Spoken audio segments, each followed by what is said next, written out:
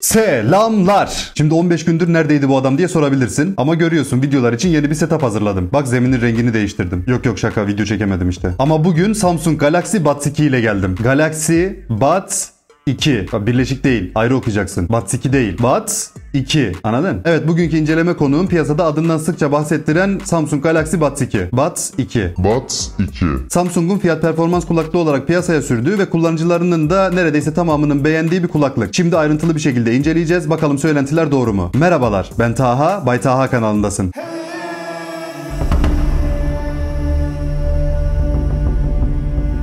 Kutuya hızlıca göz atmadan önce kısa bir hatırlatma. Hedeflediğim abone sayısına ulaşmama gerçekten çok az kaldı. Yaklaşık 98.700 kişi. Tamam azı gitti, çoğu kaldı. Daha doğrusu hiç gitmedi. Hepsi kaldı gibi ama sen abone olmazsan, ben abone olmazsam, başkasını abone etmezsem nasıl döner? Neyse uzatmıyorum kanala abone ol işte. Şöyle kulaklığın kutusuna hızlıca bir göz atacağım. Ön tarafında gördüğün gibi markası, modeli ve ürünün görseli var. Ürün görseli de baya böyle alien gibi. Uzaylı ama onların gezegeninde yumurtalar evrimleşmiş. Kutunun altında, sağında, solunda, solunda Galaxy Buds 2 yazıyormuş. Buds 2. Üstünde bir şey yok. Arka tarafında Samsung Galaxy Buds 2 yazıyor. Şurada bazı özelliklerine yer verilmiş. Clear and rich sound with two-way speakers. Çift yönlü, temiz, zengin sesi varmış. Aktif gürültü engelleyicisi varmış. Comfortable fit. Bu da kulağına 10 numara oturur demeye çalışıyor. Ve kulaklıkları kesintisiz 5 saat kullanabiliyorsun. Kutuyla birlikte 20 saate kadar kullanabiliyorsun. Altta da bazı sistem gereksinimlerinden falan bahsetmiş. Geç. Bir de bu kulaklığın galiba ses tasarımını Samsung AKG firması ile beraber yapmış. AKG'de belki biliyorsundur. Uluslararası çapta bayağı meşhur bir ses markası. Evet kutunun sağına soluna da baktığıma göre artık kutuyu açıyorum. Dırırırım. Kutunun kapağını kaldırır kaldırmaz kulaklıkla karşılaşıyorsun. Bu arada bu kutunun ilk açılışı değil bilgin olsun. Sadece içinden neler çıktığını görmen için eski haline getirdim. Şurada küçük bir kutu daha var. Bu küçük kutunun içinden de Type-C şarjara kablosu çıkıyor. Ara kablonun dışında da kulaklığın yedek silikonları çıkıyor. Yedek silikonları şöyle bir kartona sarmışlar. Bu karton açılıyor mu? Açılıyor. Gördüğün gibi yedek silikonlar. iki tanesi daha büyük, iki tanesi daha küçük. Orta boylu silikonlar da kulaklığın üstünde takılı zaten. Silikonları aynı aldığım gibi küçük kutuya koyuyorum. Şarj kablosunu da şöyle bir kenara at. Bunun kullanım kılavuzu falan yok mu acaba? Burada yok gibi. Kutunun içine bir şey koymuşlar. Bu ne? Şu karton parçası yerinden oynamasın diye şöyle yapışkanlı bir şey koymuşlar galiba. Sudan kullanım kılavuzu çıkmadı arkadaşlar. Ama olması lazım. Burada var bir şey. Çıkıyor mu? Evet kutunun kapağına sıkışmış. Burada da kullanım kılavuzu falan var galiba. Evet bu kutunun içinden de hızlı başlangıç kılavuzu ve varanti kart yani garanti şartları belgesi çıkıyor. Başka da bir şey yok. Kullanım kılavuzu Türkçe zaten gördüğün gibi. Burada bazı özellikleri, kontrolleri falan yazmışlar. Hiç gerek yok. Ha kullanım kılavuzunun bir kısmı da Arapçaymış. Nasıl lan? Niye? Bak İngilizce yok. Türkçe var şuraya kadar. Buradan sonra da Arapçası başlıyor. Bu normal standart bir şey mi yoksa artık Türkiye'ye gönderilen ürünlerde Türkçe ve Arapça mı yazıyorlar metinleri? Evet artıkın öyle olabilir. Neyse kullanım kılavuzuyla işin yok zaten. Koyuyorum onu yerine. Ve gelelim kulaklığın kendisine. Şu kutuyu kapatıp şöyle kenara koyuyorum. Evet kulaklığımız bu. Samsung Galaxy Buds 2. Buds 2. Kutunun dışı parlak beyaz olarak tasarlanmış. Ortasına küçük ve şık duracak şekilde bir Samsung logosu yerleştirmişler. Arka tarafında Type-C şarj girişi var. Kutunun kapağıyla birleştiği yerde şöyle siyah bir detay var. Bence gayet güzel görünüyor. Ön tarafına kutunun şarj seviyesini anlayabileceğin bir led ışığı konumlandırılmış. Evet bu kulaklıkta kutunun şarj seviyesini de anlayabiliyorsun. Hatta bu kulaklığı uygulamasıyla birlikte kullanıp tam olarak şarj seviyesinin kaç olduğunu da görebilirsin. Kutunun altında da gene bazı yazılar, bir şeyler. Modeli yazıyor. Bazı logolar işte işte gereksiz yani buna bakmana bile gerek yok. O zaman hazırsan kutunun kapağını açıyorum. Wow. Gerçekten bayağı klas görünüyor bu arada. Ama kulaklıkların şekli biraz değişik. Gördüğün gibi kutunun içerisinde de bir led ışığı var. Bu led ışığı sayesinde de kulaklıkların şarj olup olmadığını anlayabiliyorsun. Mesela şu anda yeşil yandığı için kulaklıkların şarjının full olduğunu anlarsın ve çıkartıp kullanmaya hazır olduğunu anlamış olursun. Kutunun içi böyle koyu gri renkte tasarlanmış ve gerçekten güzel görünüyor. Kutunun içiyle kulaklıkların kendisi aynı renkte fakat kulaklıklar parlak, kutunun içi mat. Bu da ayrı bir hava vermemiş desem yalan olur. Kutunun kapağı bence hiçbir güvensizlik vermiyor. Bence açıp kapatması gayet kolay ve güvenilir. Ama gene de dikkatli olun bak zorlamayın. Abi ben kutunun kapağı açıkken yanlışlıkla yere koydum. Ayağımla da yanlışlıkla şöyle üstüne bastım. Kırıldı. Ne yapabilirim? Kanka şey yapabilirsin mesela. Ruh sağlığı hastanesine gidebilirsin. Bu soruyla oradaki doktorlar ilgileniyor. Neyse arkadaşlar ne yapıyoruz? Dikkatli kullanıyoruz değil mi? Oğlum dünyanın parası lan bu cihazlar. Bak bunun içi koyu gri ama farklı renk seçenekleri de var. Kulaklığın hem güncel fiyatını hem de farklı renk seçeneklerini görmen için açıklamalar kısmına link bırakıyorum. Oradan bakabilirsin. Hatta almak istersen benim bıraktığım linkten alabilirsin. Bu arada benim açıklamalar kısmına bıraktığım linke girip oradan satın alırsan bana da birazcık destek atmış oluyorsun haberin olsun. Birazcık, bir tık. Bir tık. Hadi diyelim ki bir tık daha fazla destek olmak istedin. Bir tık. O zaman ne yapıyorsun? Videoyu beğenip kanala abone oluyorsun. Kulaklığı kullanabilmek için telefonunla eşleştirmen gerekiyor tabii ki. Telefonunla eşleştirebilmek için de Galaxy Wearable uygulamasını telefonuna kurman gerekiyor. Bu Wearable uygulamasını Samsung'un akıllı saatinde de kullanmıştık belki hatırlarsın. Evet bu şekilde ilk defa uygulamayla kullanılan bir kulaklık incelemiş oluyorum. Bir Bluetooth kulaklığı uygulamayla birlikte kullanıyorsan bu o kulaklığın bir tık daha ileri seviyede olduğunu gösteriyor. Neden? Çünkü diğerlerinde olmayan bazı özellikleri var. Mesela bu kulaklıkta gördüğün gibi aktif gürültü engelleme özelliği var. Gürültü kontrollerini tamamen kapalı hale getirip bu ayar yokmuş gibi kullanabilirsin kulaklığı. Ama aktif gürültü engellemeyi açtığında dışarıdan gelen sesleri bir nebze de olsa azaltmış oluyor. Bir de gürültü kontrollerinde ortam sesi özelliği var. Bunda da dışarıdan gelen sesleri yükselterek kullanabiliyor. Uygulamanın üst tarafından kulaklıkların ve kutunun şarj seviyesini görebiliyorsun. Altta da dokunma kontrollerini açıp kapatabileceğin kısım var. Burada istediğin kontrolleri aktif hale getirip diğerlerini kapatabiliyorsun. Kulaklık ayarları kısmında benim en çok hoşuma giden Equalizer modu var. Yani buradan Equalizer modunu değiştirebiliyorsun.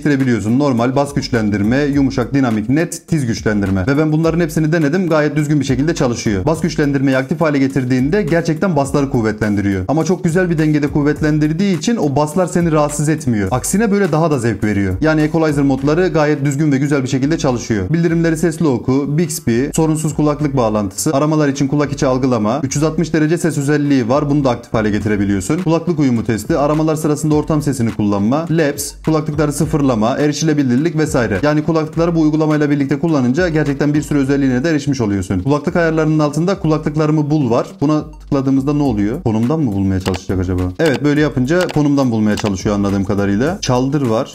Çaldıralım. Başlat. Beyler kulaklık ötüyor lan. Ötme bülbül ötme Cana yazda kışta Dur dur. Acaba bu ses kulaklıkların kendisinden mi geliyor? İçinden mi geliyor yani? Kulaklıkları çıkarıyorum artık. Gene öttürelim. Öttür. Aa evet. Ama kulaklıkları çıkarınca bu ses bayağı azaldı bu arada. Gördüğün gibi gayet de ötüyor. Kulaklıklarımı bulun altında da ipuçları ve kullanım kılavuzu vesaire geç. Başka da bir şey yok. Böyle bir de kulaklıkların tasarımına bakalım. Dışı az önce de söylediğim gibi parlak gri. İç taraflarında bazı sensörleri var. Bunda kızılötesi sensör de var. Kulaklıkları kulağından çıkardığında müziği durduruyor. Buralara eşek kadar L ve R harflerini yazmışlar. Gerçekten büyük yazmışlar. Gereksizce büyük yani. Şu gördüğün sarı yerler zaten şarj bağlantı noktaları. Kulaklıkların dış tarafında bir üstte bir de altta delik var. Gördün mü? Görünüyor mu acaba videoda? Onlar da mikrofon. Tabii ki bu kulaklığın da mikrofon testini yapacağız. Mikrofon testine geçmeden önce biraz ses kalitesinden bahsetmek istiyorum. Bir kere kulaklığın ses yüksekliği oldukça iyi. Ortalamanın epey üstünde ve gayet tatmin edici. Ses çözünürlüğü ve sahne genişliği konusuna değinecek olursam şu ana kadar incelediğim kulaklıkların tamamından çok daha iyi. Gerçi incelediğim kulaklıklar hmm, eh. şimdiye kadar incelediğim en iyi kulaklık Redmi Buds 3 Lite'tı. Ama bu kulaklık ses performansıyla onu tokatladı. Hatta kırbaçladı. Yok yok kırbaçlayacak kadar büyük bir kalite farkı yok. En fazla tokatlar. İlla kırbaçlayacaksa ses yüksekliği konusunda kırbaçlayabilir. Çünkü bu kulaklığın ses yüksekliği gerçekten çok iyi. Buds 3 Lite'ın video başlığında sesinden çalındığını söylemiştim zaten. Buds 3 Lite'ın da inceleme videosunu izlemek istersen açıklamalar kısmına ve sağ üstteki kartlara ekliyorum. Git izle. Şimdi bu kulaklığın ses frekanslarından da bahsedeceğim ama uygulamada hazır equalizer ayarları olduğu için çok bir anlamı olmayabilir. Ama equalizer'ı normal moda aldığında nasıl bir ses olacağını tarif etmeye çalışayım. Mid frekanslar biraz önde. Yani vokaller tertemiz geliyor. Tiz frekanslar vokallerle doğru dengede çalışıyor. Ama baslar 1 desibel daha açık olabilirdi diye düşünüyorum. Ama ama ama. Zaten az önce gösterdiğim gibi equalizer ayarlarında bas güçlendirme var. Ve equalizer ayarları gerçekten düzgün bir şekilde çalışıyor. Yani frekans muhabbetini boşuna anlatmış olabilirim. Bas güçlendirmeyi seçtiğin zaman galiba 200 frekans civarının altındaki frekansları boostluyor ve gümbür gümbür bas duymaya başlıyorsun. Burada eleştirebileceğim sadece şu kalıyor. Hazır equalizer ayarları yerine dinamik equalizer olsaydı da tüm frekanslara kendimiz müdahale edebilseydik. Üf çok güzel olmaz mıydı lan? Ben de kaliteli kulaklığı buldum kup takıyorum ama. Ama güzel olmaz mıydı söyle hele. Şu kutunun içindeki ışık kulaklıklar şarj olurken kırmızı tam şarj olduğunda yeşil yanıyor. Kutunun dışındaki ışık da kutuyu kapattığında birkaç saniyeliğine yanıyor ve kutunun şarj seviyesini göstermiş oluyor. Yani kutunun aşağı yukarı ne kadar şarjı olduğunu anlayabiliyorsun. Ama bunları zaten net bir şekilde uygulamadan da görebiliyorsun. Kutunun kapanma kısmına bir de mıknatıs koymuşlar. Bu da biraz daha güvenli hale gelmesini sağlıyor bence. Şöyle buraya kadar getirdiğin zaman mıknatıslar kendisi çekiyor gördüğün gibi.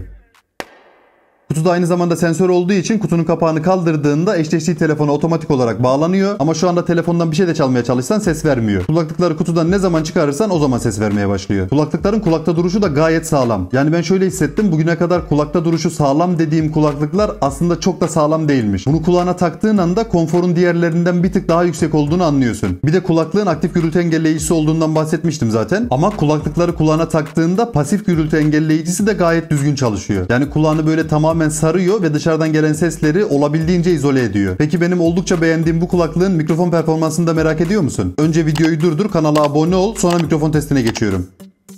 Durdurdun mu? Abone oldun mu? O zaman gidiyoruz mikrofon performansı testine. Hadi.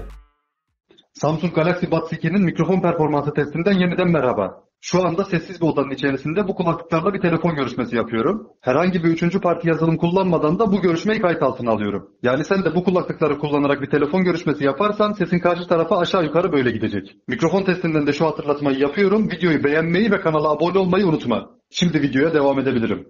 Evet kulaklığın mikrofon performansını da duydun. Nasıl bulduğunu yorumlar kısmından benimle paylaşırsan sevinirim. Bu kulaklıkla alakalı olumsuz bir şey söyleyeyim diyorum ama çok da olumsuz bir şeye rastlamadım. Sadece kulaklıkların kendisinin tasarımı biraz garip gördüğün gibi. Bunun kullanım açısından tek dezavantajı var. O da dışının oldukça kaygan olması. Yani kulağına takarken, çıkarırken falan elinden kayma ihtimali yüksek. Bunu da ne kadar dezavantaj olarak değerlendirirsin bilmiyorum. Ben genel hatlarıyla kulaklığı beğendiğimi söyleyebilirim. Eğer sen de böyle markası belli olan, uygulamasıyla birlikte özellikli bir şekilde kullanabileceğin, aktif gürültü engelleyicisi olan ama dünya kadar da para vermek zorunda olmadığın bir kulaklık kullanmak istiyorsan bu kulaklığı önerebilirim. Çünkü dediğim gibi beğendim yani. Ha bu arada çok beklediğiniz QCY-T13 kulaklıklar da elime ulaştı. Çok yakın bir zamanda onların da incelemesini kanalda yayınlayacağım. Evet bu videoda Samsung Galaxy Buds 2 Bluetooth kulaklık modelini senin için ayrıntılı bir şekilde incelemeye çalıştım. Eğer videoyu beğendiysen beğen tuşuna basmayı ve kanala ücretsiz bir şekilde abone olarak bana destek olmayı unutma. Sonraki videolarda görüşmek üzere ben kaçar.